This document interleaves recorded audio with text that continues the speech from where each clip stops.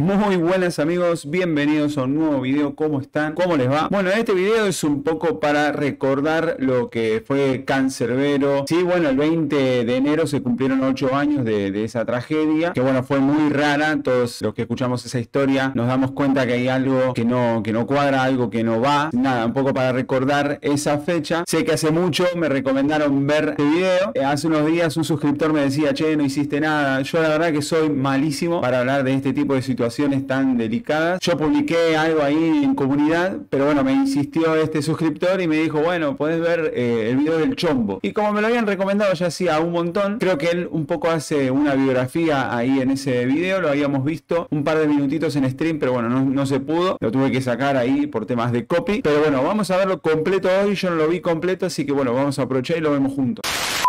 Advertencia. Cualquier inconveniente para realizar video reacciones de este video escapa de nuestras manos. No tenemos el control de la nueva bla bla bla bla paja paja. Bueno, ya saben. Gracias. Lo sé. El siguiente programa es categoría M. Para muñequitos. Me pasó directamente en el stream.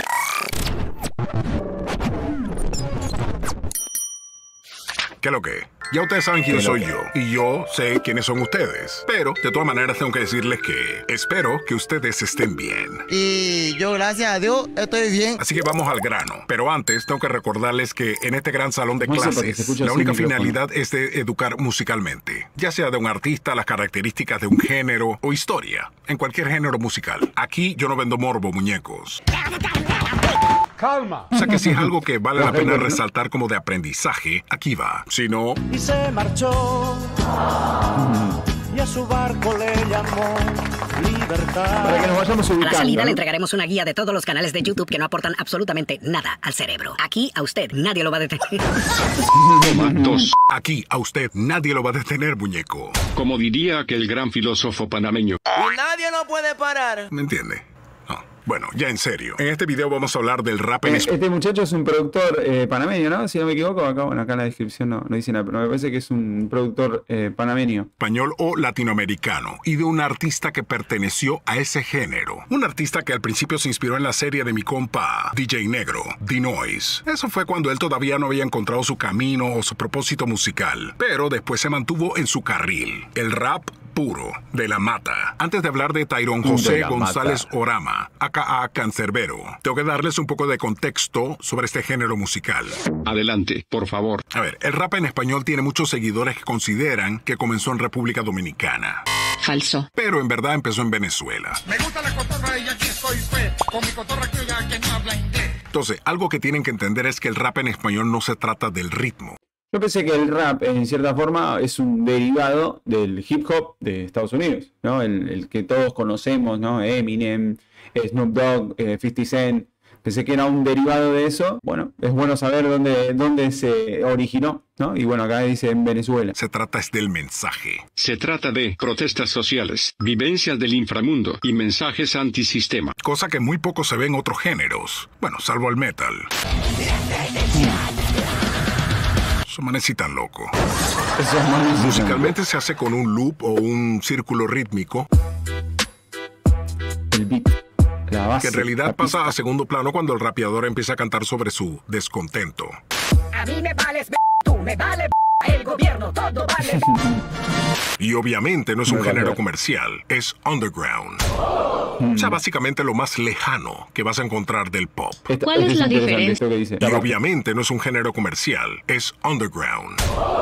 O sea, básicamente lo más lejano que vas a encontrar del pop. ¿Cuál es la diferencia entre rap y hip hop? El rap es solamente un elemento del hip hop. Es el elemento musical. Porque los otros elementos son los que lo bailan, los que hacen los graffiti, Sí, sí. antes los DJs. Creo que Cancerbero en una entrevista había dicho, ¿no? Que hay muchos hip hoperos, pero él básicamente canta. Nomás, pero él dice que hay, hay varios, tenés los que lo bailan, tenés lo que, los que se visten todo el tiempo, así, ¿no? Como hip hoppers, eh, los que hacen grafitis, eh, bueno, y varias cosas más creo que Cancerbero decía en esa entrevista cuando vino a Argentina, creo que fue la última vez que vino a Argentina. Y él en esa entrevista comentaba eso. DJs, los que lo promovían o sonaban, pero ya no tanto. O sea, es más como un movimiento, una cultura, una forma de vida. Por eso dije en un video que yo no entiendo por qué utilizan el término hip hop para referirse a un género musical.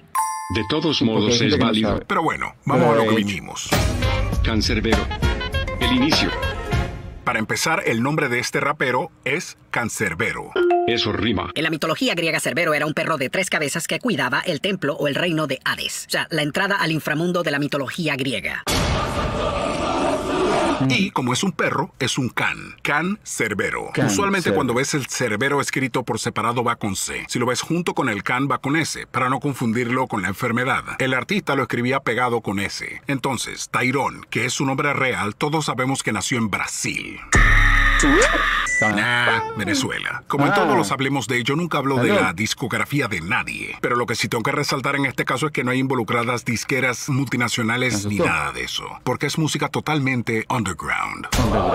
Como no mueve los números que mueven las otras ramas de la música urbana, las grandes disqueras no se acercan mucho a este género. O sea, lo tocan con un palo de escoba, de lejos. Y, claro, porque le tiran al gobierno, le tiran a lo antisistema. Y bueno, todo lo que es- se vende es conforme al sistema, obviamente, ¿no? Eh, y el rap, el rap genuino, el rap verdadero, va completamente en contra del sistema. Bueno, lo hemos escuchado bastante a Cancerbero, eh, varias de sus líneas. Verán por qué. Pero ¿qué quiero decir con eso? Que Tyrone no empezó en esto por el dinero. Este es uno de los casos en donde cabe la definición de artista. Primero es su arte, después el dinero. Así como la frase por amor al arte. Bueno. Así, a los 11 o 12 años, cuando ya él supera su adicción a D-Noise, decide entrar al mundo del rap.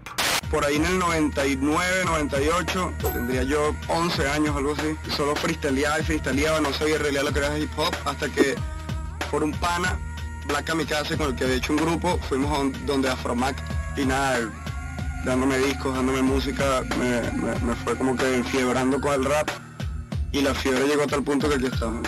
Ey, y todo esto es por redes sociales. Es por eso que cuando él gana la encuesta que hice en redes, mucha gente de estos países que no tienen una gran cultura de rap en español se quedan de qué. Entonces, de salida, Cancerbero ya tenía razones para cantar de mal humor. Perdió a su madre a los 9 años. Se va a vivir con el papá. Pero a los 12 pierde a su hermano por parte de padre en un tiroteo. Lloro de la rechera mientras en la acera cargo Este- escucho este una señora que grita que mataron a Carlos. Solo ahí fue cuando sonreí aliviado porque Carlos fue el bastardo que mató a mi hermano. Ya con eso de una vez la perspectiva de su vida viene distinta. Cancerbero. Crecimiento.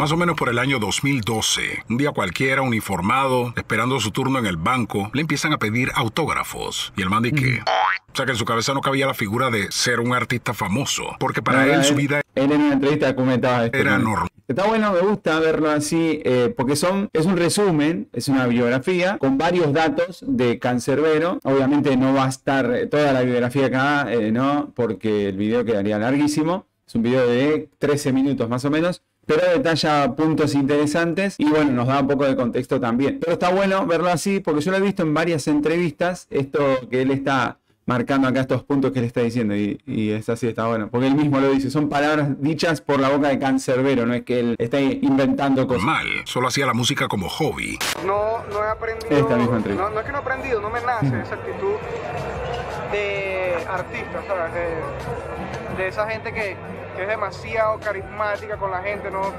me cuesta. Y, y siempre estoy como que tímido cuando veo tanta gente. Suelo ser in- introvertido y porque es todavía extraño para mí esta situación. pues. Sin embargo, lo ves arriba de un escenario con tanta gente de frente y es otra persona, se transforma completamente cuando lo ves en estos videos así como este. Así se transforma.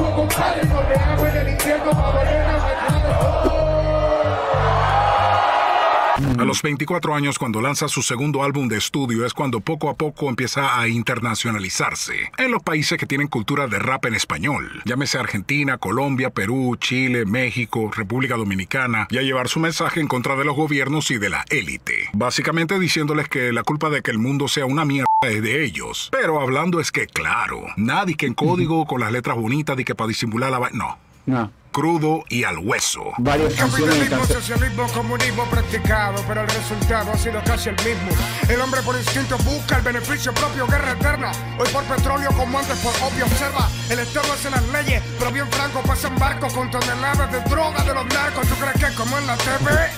Que siempre al final del cuento el bueno está contento y el malo muere, mire. A la élite no le gusta este video. Presentamos un momento de sabiduría video. Si tú quieres llegar a viejo, no le va a gustar. no cantes en esa vaina. Hemos presentado Momentos de Sabiduría Chombal. O sea que ya ustedes van teniendo una idea de por dónde va la vaina con Cancerbero. Y llega un punto que es inevitable que hables de política. A mí me fastidia horriblemente la política.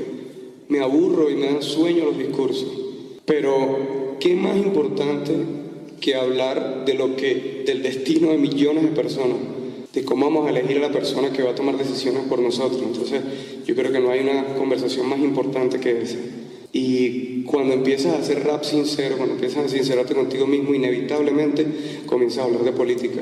Se te sale, se te escapa. Toda su música, con justa razón, era oscura, profunda, como con rabia, pero real, demasiado. Este es para ti, para ti tú que me traicionaste a mí, me das la mano, con tu cara yo no fui. Y yo inocente de la di porque todavía no sabía que tu risita venía, con la fecha ya vencía.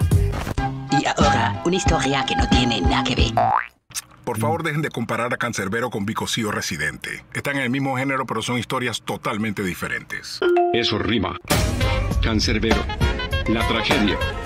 En esta parte me voy a mantener estrictamente en el carril de los hechos. Ni me voy a montar en el trencito de las 134 versiones y teorías que existen. Yo creo Claro, recordar claro. que en el 2000 Esto es un poco lo que yo quería evitar cuando me, me, deci- me dijo este suscriptor, che, no hiciste nada, qué sé yo, porque es- es un tema muy delicado, entonces opinarlo, eh, y también un poco está de más, porque creo que todos los que son fanáticos de Cancerbero, todos los que escuchan Cancerbero, o los que por lo menos escucharon y leyeron sobre esa historia, se dan cuenta que obviamente no fue un suicidio, es obvio que no fue un suicidio, este, pero es eh, como revolver algo que no sé, no, no, no me parece de muy buen gusto, pero bueno, yo creo que él lo va a decir de una manera más, más correcta que yo, por lo menos, no me creo capaz de, de hablar de ese tema. 2015 él se iba a presentar en Panamá, pero nunca llegó porque el 20 de enero de ese mismo año, Tyron José González Orama, aka Cancerbero, hizo un descenso veloz por gravedad desde un décimo piso en un edificio en Maracay, Venezuela. Y su vida artística, no, su vida entera termina de forma trágica. Entonces, el dilema que tiene su fanaticada que enviudó es que si se suicidó o lo suicidaron. El reporte oficial dice que se.